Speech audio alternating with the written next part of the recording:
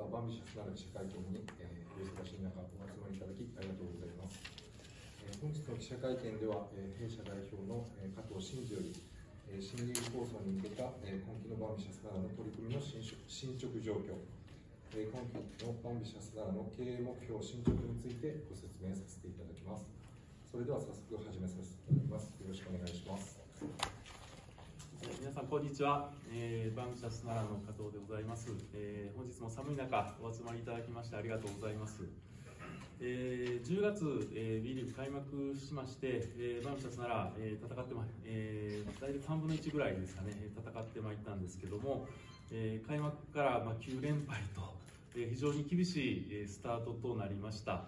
えー、非常にちょっと怪我人も多い中で、えー、戦っている状況が続いております続いておりまして、それがまあ11月入りま入ってから、ようやく怪我したメンバーも、えー、数名戻ってまいりまして、そこからようやく勝ち星が突き出したというような状況です。えー、その後まあ6連勝というのもありまして、少し、えー、勝勝敗、勝率戻してきたかなというような状況でございます。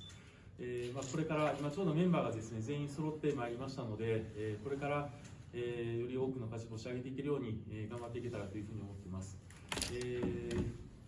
本日は、えー、このチームの状況のではなく、えーまあ、経営の進捗、えー、そういったところを、えー、お話しできたらというふうに思っております。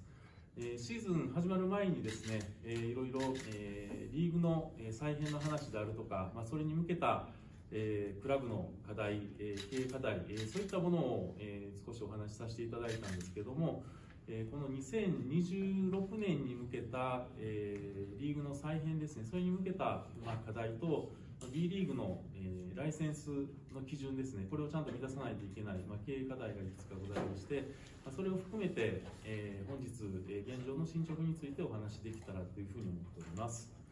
えー、それでは早速ですが、あのお配りしました、えー、と資料ですね、少しご説明させていただけたらと思います。えー、初めの方はちょっと再形出みたいなものになってまして、えー、と B リーグ、えー、2026年から始まる、えー、B 革新ですね、こちら、えー、前回ご説明させていただいた内容のものです。えー、バンシャス奈良は、えー、この、えー、新リーグ、まあ、3つ、えー、リーグに再編されていくんですけども、その、えー、その真ん中のところ、えー、B リーグ1というところのリーグ、こちらを、えー、現状目指しております。えこの B リーグ1に参入する基準として主な項目ですが、平均入場者数が2400名、え売上規模が4億円以上というような、え基準が設けられております。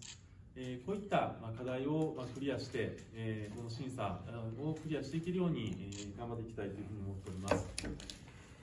えー、次のページのところにもう少し、まあ、B リーグ1と B リーグプレミアのところの違いとかですね、少しリーグからも資料いただきまして、えー、割って書いてありますので、まだこちらも、えー、ご覧いただけたらなというふうに思います。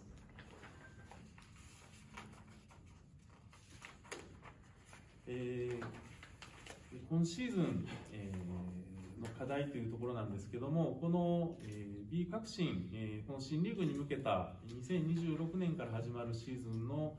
リーグに向けた審査が、えー、この今シーズンですね、2023-24シーズンの、えー、興行成績、えー、入場者数であるとか、えーえー、と営業成績、売上ですね、こういった規模によって、えー、審査が、えー、行われます。えー、それに向けて、えー、今シーズン、2023-24シーズン、バンシャス奈良が掲げたえ経営目標、経営課題を、え今回このページ上げております、えちょうどシーズン始まる前に掲げさせてもらったものの、えもう一度おさらいではあるんですけども、え平均入場者数2400名以上を目指すというところ、え売上をま4億円以上、えまたもう下に2つ、え B リーグの、えライセンス基準というのがあるんですけども、えこちら、3期連続赤字が NG ということで、えー、バムシャスなら実は前期、前々期、えー、赤字を計上しておりまして、今2期連続赤字の状態でございます。ですので、今シーズン、今期の、えー、最後、決算を締めたときに、えー、黒字になってないといけないっていうのも、えー、課題でございます。えーまあ、黒字にするためには実はまあ4億円以上の売り上げが必要になってまいりますので、まあ、これこの黒字化っていうのと、まあ、4億円以上っていうのはまあ同じ、えー、かなりイコールに近いところなんですけども、まあ、黒字になれば、え4億円もクリアできるかなというところでございます。また、あと最後、一番下に、え債務超過の解消っていうのがあるんですが、えー、昨シーズンの決算時に、えー、5700万円ほどの、えー、債務超過が残っておりました。こちらも、え、解消しないといけないというのがございます。え、B リーグは、えー、実は財務健全な運営を、えー、モットーとしておりまして、えー、この債務超過は NG ですということで、えー、B リーグ基準が設けられています。えー、しかし、ま、コロナで各クラブかなり財務が傷んだクラブございまして、えー、それに対する特例措置としまして昨シーズンの決算まで、えー、債務超過を、えー、OK ということで猶予期間でございました、えー、それが実は今シーズン、えー、の決算からは、まあ、債務超過は、まあ、NG ということで、えー、こちらも解消しないといけないというのが課題でございます。でまずはこの平均入場者2400人というものに対してというところなんですが、えーまあ、バミシャスなら、えー、戦っている、まあ、各会場なんですけども、えー、現在ロートアリーナ奈良であるとか、えー、あと柏原の j テクトアリーナ奈良あと先日試合したんですけども郡山の金魚スクエアなどで、えー、試合しております、えー、ロートアリーナ奈良が、えーまあ、8割近くやってるんですけども22試合ありましてあと、柏原の J デクトアリーナ、こちらが4試合、えー、金魚スキャム4試合ということで、えーまあ、大半がまあロータアリーナでやっているんですけども、他の会場でもまあ試合をしております。それぞれのまあキャパを少し書いているんですけども、えーまあ、それぞれ3000人と2100人、えー、1700人というような、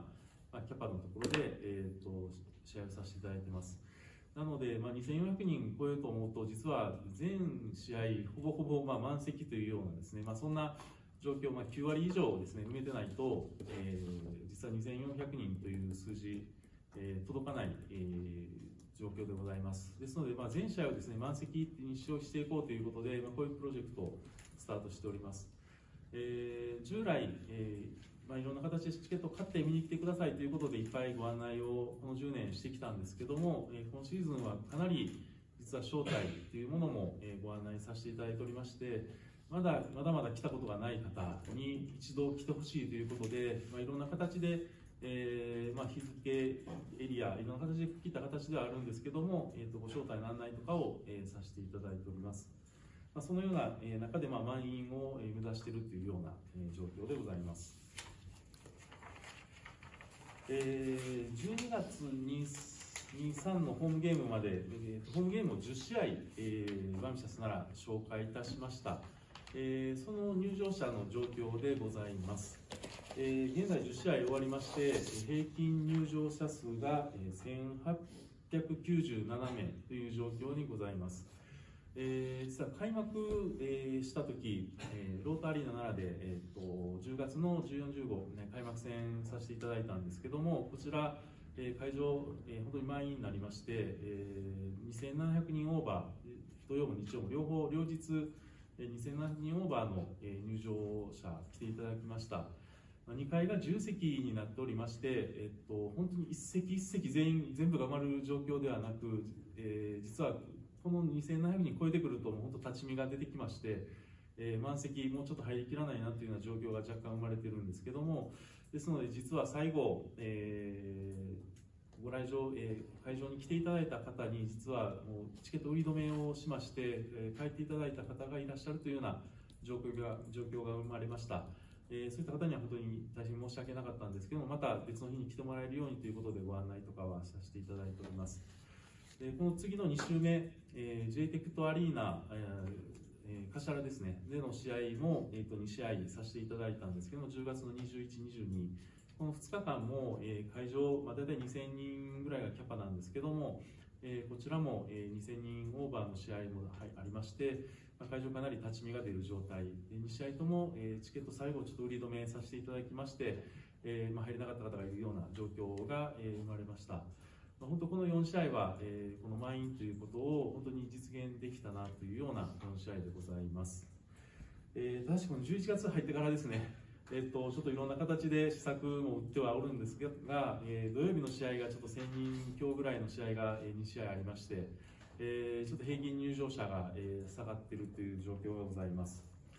でまたこの後、えー、先日12月の2日3日、えー、郡山の金魚スクエアで試合させていただいたんですけどもこちらは、えーと、会場のキャパシティが1700人ほどでしたので、まあ、本当に、え、2日目日曜日は満杯になりましてあの立ち見席がある、ま、会場なんですがそちらに多くの方がちょっと立ち見でご覧いただいたというような状況でございました。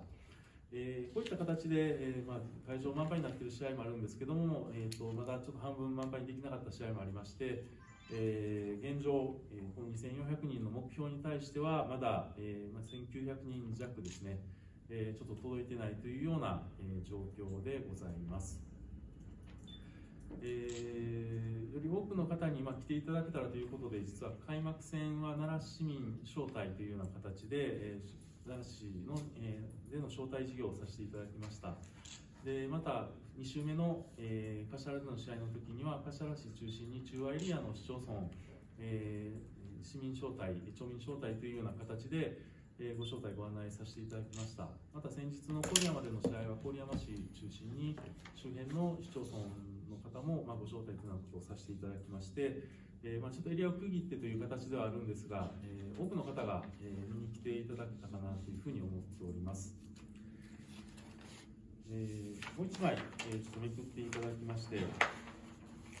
えこれ昨シーズンまでの、まあ、入場者数の状況なんですけども、え過去、まあ、10年やってきて今年11年目なんですが、え過去10年の平均入場者数が大体1100人ぐらい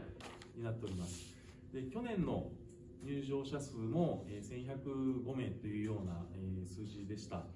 えー、そのような、まあ、状況から考えますと、え実はこの1897名、まあ、1900名弱っていうのは、まあ、大体1.7倍ぐらいまで、えー、入場者が増えておりまして、本当に多くの方が来ていただけるようになってきたかなというふうには、えー、思っております。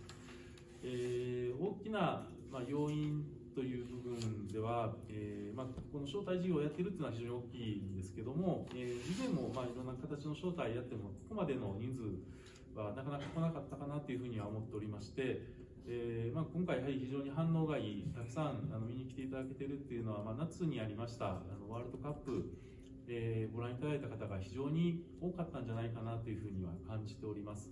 えー、バスケットボールに、まあ、興味を持っていただけた方、えー、非常に多くて、まあ、こういった招待で毎回見に行ってみようという方が、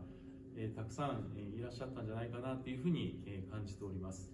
まあ、そういった、え、追い風もありながらの、まあえ、かなりの入場者数増加というような、え、ところが、まあ、実現できているというところと、えー、ただ目標に対して、えー、2400人ですので、えー、まだまだ、えー、届いていないというところがございまして、まあ、この2400人に、えー、少しでも近づけていけるように、えー、今後もいろんな形での集客を取り組んでまいりたいというふうに、えー、思っております。えー、続きまして、えーまあ、経営の、えー、状況について、えー、お話しさせていただけたらと思います。えー、こちら月のページは、えー、B リーグの、えー、ライセンスの、まあ、規則、まあ、基準とかですね、そういったものを、えー、少し抜粋したものでございます。えーまあ、3期連続赤字はダメですよっていう内容と、えー、債務超過はダメですよというのが、まあ、B リーグのルールでありまして、それをちょっと抜粋したものでございます。で、えー、現在のバンシャス7の、えー、経営状況、進捗状況、えー、売上と、まあ、収支の、あ、改善状況ですね。こういったものを少し、えー、まとめさせていただきました、まあ、11月、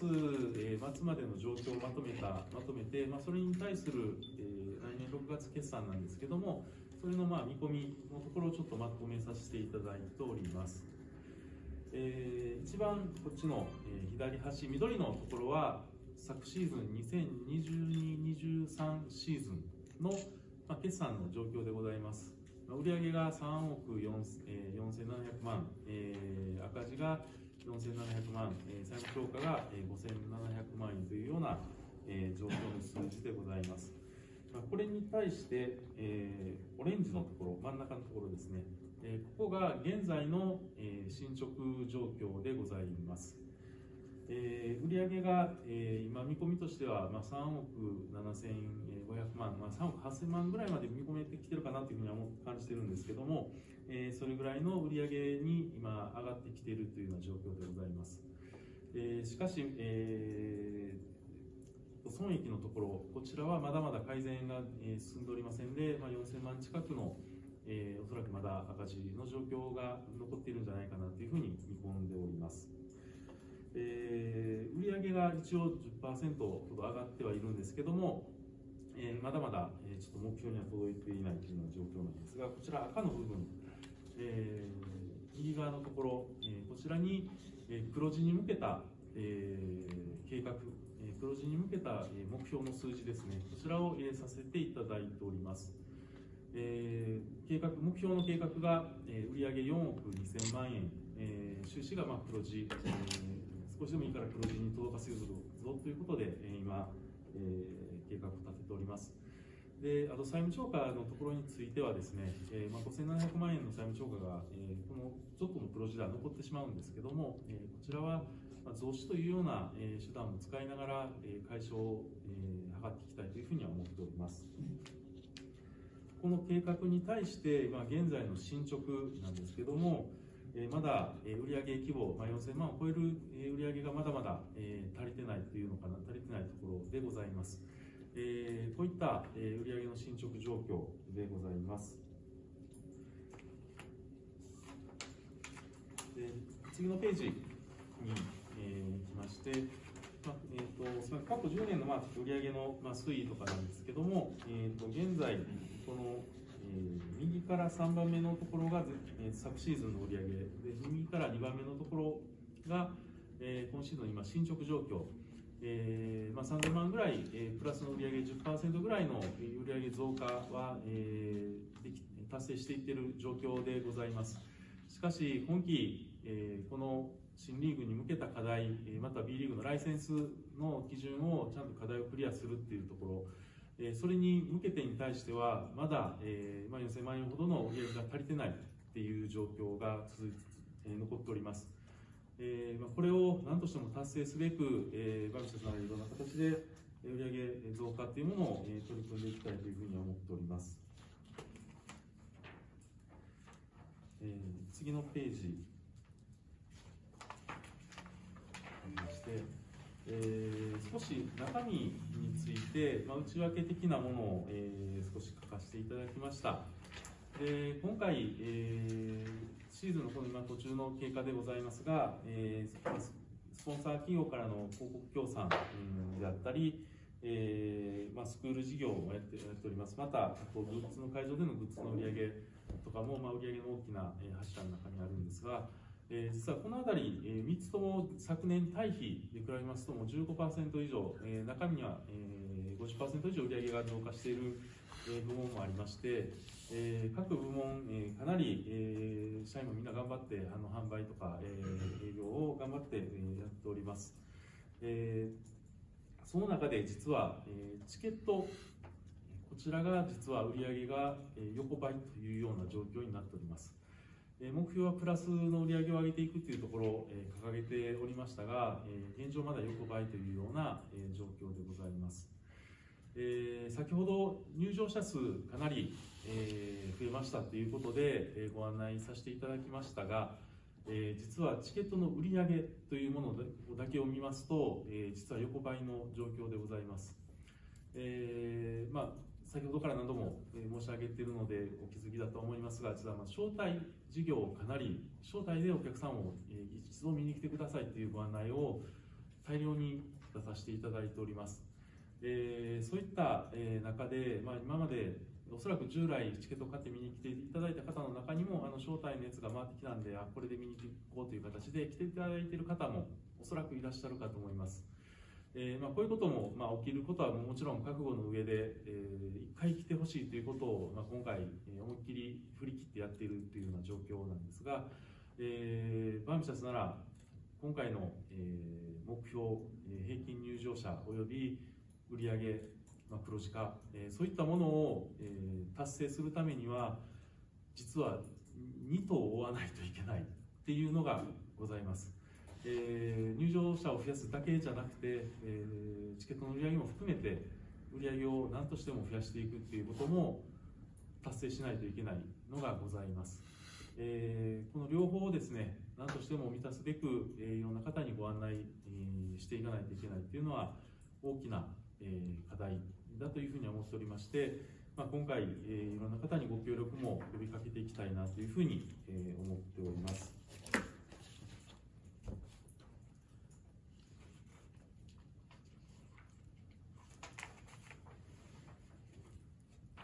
えー、次のページ、えー、すみません、まあ、入場者数と、まあ、売上と両方とも、えー、バミシャスなら前に前進はしております。えー、平均入場者は、えーまあ、1.7倍ということで、まあ、大きく、えー、入場者を増やしているような状況、また、売上の方も、えー、10%増ということで、まあ、売上を増やしていっている、成長していっている状況ではございます。しかし、えー、今期掲げている目標は、えー、平均入場者2400人、売上は4億円以上、まあ、4億2000万以上ですね、えー、こちらを何としても、えー、達成させないといけないというのが、えー、現状でございます。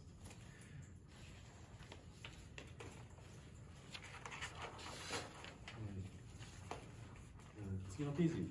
えー、バミシャス奈良は本当に地域にですねやはり真にやっぱり必要とされるそういうクラブ、えー、目指して活動をしております、えー、本当に100年続くような、まあ、そういうクラブ愛されるクラブを、えー、目指して活動しておりますえー、そういうクラブになるためにより多くの人に、えー、ハッピーを届けられてまたそのハッピーを、えー、受け取った方がさらにその周りの方に、えー、ハッピーを届けていけるような、えー、そういう、まあ、地域社会そういうのを作っていく中心になるような核になるようなクラブ、えー、目指していきたいなというふうに思っております。えー、こういったものを、えー、こう人が、えー、反応して、えー、響いていく共感していただく、えー、そういったものが広がっていくような、えー、地域社会、まあ、共鳴というような言葉で、えーと、以前実はコンセプトで活動させていただいた時があったんですけどもこの共鳴するような、えー、そういうクラブ、えー、を目指して、えー、頑張っていきたいというふうに思っております。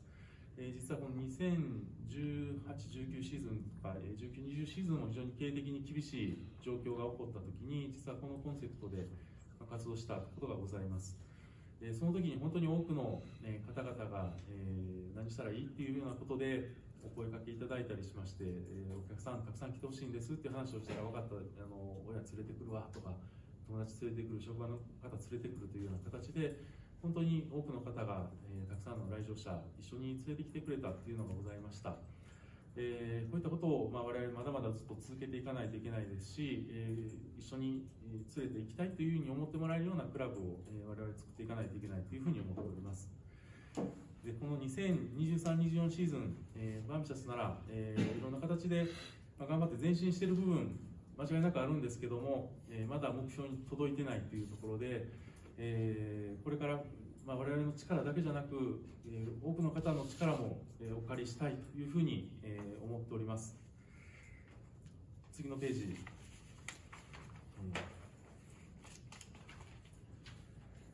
えー、バンジャスなら、まあ、いつも応援してくださっている方、えー、こういう方にもですね、またもう一度ですね、自分の周りのご家族やご友人、また職場の方、えー、地域の周りの方にですね、お声かけいただいて、より多くの方に試合会場を見に来てもらいたいというふうに思っております。また従来から、えー、チケット買って見に来ていただいている方のところにも、えー、ご招待のご案内、えー、行くかと思っております、えー、そういう方には、えー、ぜひ、え周りの中で一度もまだ見に来たことないという方に、えー、こういった招待のやつあるよっていうのをお声かけいただいてですね、えー、まだまだ来たことない方にも、え試合を見に来てもらうというような、えそういうえ協力をしていただけたらなというふうに思っております。えまた、え今回このま10試合やってくる中で、えかなり招待で来ていただいた方、たくさんございます。えそういった方の中で、えバーミシャス奈良の試合が面白いなと思っていただいた方、えそういう方には次もう一度バーミシャス奈良の試合、え見に来てほしいなというふうに思ってます。その時なら、その時には可能ならあのチケットを買って、えー、有料で見に来ていただけたら、バンジャスナラの支援になります。えー、そういったことも、えー、多くの方に伝えていきたいなというふうに思っております。えー、また、まだ全然見に来たことないという方、えー、バンシャスなら奈良県内でもたくさんいらっしゃいます。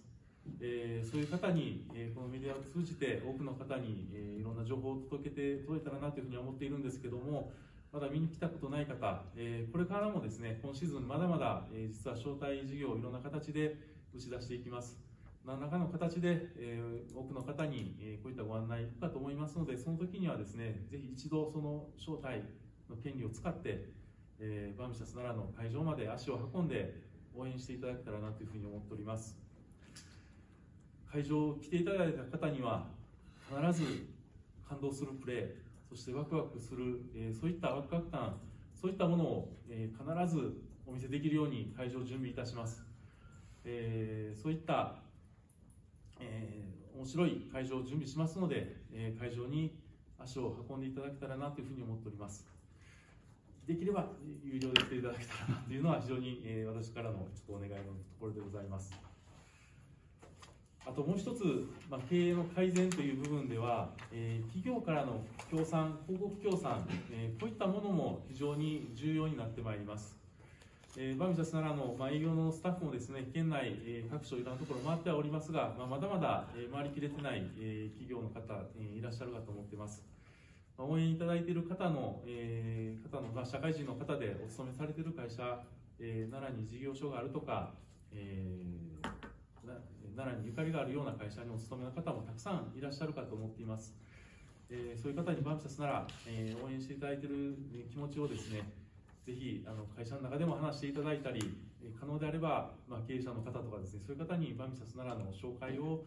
していただけたら大変嬉しいなというふうに思っております。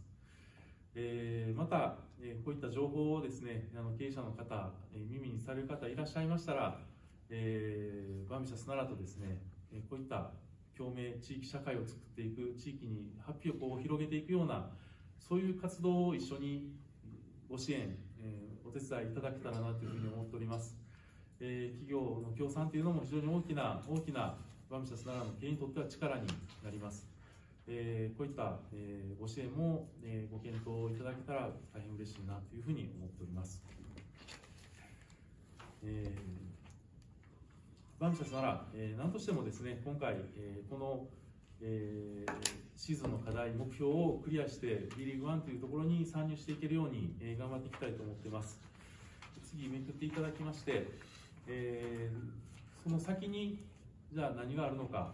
えー、我々、えー、本当に地域にこう楽しめる文化スポーツプロスポーツ文化そういったものを根付かしていきたい作っていきたい。またえー、県外からも人が来るような求心力のある場所そういう場所を作っていきたいというふうに思っております、えー、その要素の一つに、えー、新設のアリーナ、えここにまあ写真載せておりますが実はこれ写真沖縄アリーナ新しいアリーナができているところの写真です。えこういった素敵なアリーナが今全国各地にいくつか、えでき始めてまして群馬にも、えアリーナできてますしあと佐賀県にもアリーナができてます。他にも今計画がいくつかあるというふうに聞いております。えー、実は日本の国内にこういった、え、素敵なアリーナができてこういうアリーナ文化アリーナを使ったエンターテインメントそういったものがより多く行われる環境になっていくというふうに思っておりますその時に、えー、奈良にもこういったアリーナが、えー、あることで、地域を盛り上げていく、えそういった原動力になっていくというふうに思っておりますまあ、そのアリーナの中心にもバーミシャスなら、えー、我々も試合をさせていただくということで、えー、このアリーナを作って盛り上げていくようなことをやっていきたいと思っています。まあ、今、ちょっと前まで計画がアリーナありましたが、えー、ストップしています。しかし、バーミシャスなら絶対諦めません。えー、これから先も、えー、このこういったアリーナができるように、いろんな形で働きかけていく、えー、官民問わず、いろんな方に一緒に働きかけながら、えー、作っていけるような、えー、努力を必ずしていきます。そして、えー、今回、えー、B リーグ1からのスタートというものを目指しておりますが、その上にもう一つ、えー、B リーグプレミアというリーグがございます。えー、これは本当に、まあ、NBA に次ぐ世界第2位のおそらくプロリーグ、そういったものになっていくというふうに思っております。こういった B リーグプレミアも、まあ、目指せるような環境を、整えて、えー、目指していくということも、えー、県民の皆様と一緒にまあ、夢を作っていく、追いかけていくような、えー、そういう活動をしていきたいというふうに思っております。えー、そのためにも、まあ、今シーズン、なんとしても B リーグ1からのスタート、えー、こういったことを実現していきたいというふうに、えー、思っております。えーまあ、今期の、目標とかについては以上なんですけども、えー、この後、えー、バームシャスなら、えー、今シーズン中なんですけども、えー、年末にですね、えー、怒涛の、えー、ホームゲーム5連戦っていうのがございます。えー、しかも、えー、B2 の上位チームと、えー、ばかり当たる、えー、5試合ということで、まあ、非常に過酷な、まあ、5連戦になるんじゃないかなというふうには思っております。えー、この5試合、えー、ですね、本当に多くの方に来ていただいて、ご声援をいただいて、チームの、えー、力にもプラスに後押しをしていただけたらというふうに思っております。えー、また、この試合、各試合でですね、え会場をいろいろ盛り上げていただくようなもの、えいろんな方にも来ていただいたりしておりまして、え少し順番にご説明させていただきます。え次のページ、え12月20日水曜日の、えホームゲームございます。これ平日の開催ということなんですけども、えー、皆様にですね、年末、まあ、忘年会がてら、えー、仕事帰りにですね、えー、水曜日の夜に、えロータリーナで試合一緒に観戦、職場の方と一緒に楽しむとかですね、そういうのもしていただけたら嬉しいなというふうに思っております。で実はこの日には、えー、B リーグ全体でですね B フェスというのをやっておりまして、えー、吉本のお笑い芸人が来ていただくというところでバムシャスならではあのチュートリアルのお二人会場に来ていただけますえー、会場面白く楽しくあの盛り上げていただけるんじゃないかというふうに期待しておりまして、えー、彼らぜひチュートリアルのお二人にもですね会いに会場に来ていただけたらなというふうに思っております。えー、この2日、えー、すみません12月20日の試合に続きましてその週の週末、えー、12月の23、24同日ですねもうまさにクリスマスの週末ということで、まあ、会場をですね、まあ、クリスマス色一色にして、えー、いろいろ、えー、盛り上げていきたいなというふうに思っています。バミーナスもですね、えー、スペシャル、えー、パフォーマンスを準備しまして、会場一緒に盛り上げたいと思ってます。えー、ご家族と来ていただいたり、ご友人、また恋人とかと一緒に楽しみに、えー、会場来てもらえたらと思ってます。えー、奈良でも楽しめる場所、えー、そういうものをですねあのこういったクリスマスの日にも楽しめる場所っていうものをバイブセス奈良は、えー、奈良に作っていきたいというふうに思っていますまた、えー、最後ですが12月の最後年末最後12月の29日30日29日金曜日と、えー、30日、えー、土曜日、えー、こちらで年末我々締めくくれたらというふうに思っておりますえ29日は金曜日、えー、お勤め最後の日、えー、仕事納めの方も、えー、多いんじゃないかと思います。まあ、仕事納めの後にですね、え今年の、え最後、え思いっきり鬱憤を晴らすようにですね、え奈良を叫んでもらえたらなというふうに思っております。え奈良応援がてら、え思いっきり叫びながら今年1年をですね、え思いっきりすっきりして、え年越し迎えられたらというふうに思っております。また、えー、12月30日、本当冬休みに入って、年末に入っておりますが、えー、帰省とかで奈良に帰ってこられている方もご家族いらっしゃるんじゃないかと思います。そういう方と一緒に奈良を、えー、一緒に楽しんでもらえるような、えー、形でご来場いただけたらなというのを思っております。また、えー、皆さんあの年末で帰省している方方の同士でですね集まったりとかそういう方もあったらいいなというふうに思っております最後、えーしっかり勝利で、えー、楽しく締めくくれるようにしたいと思ってます。また、その1階席になるんですけども、えー、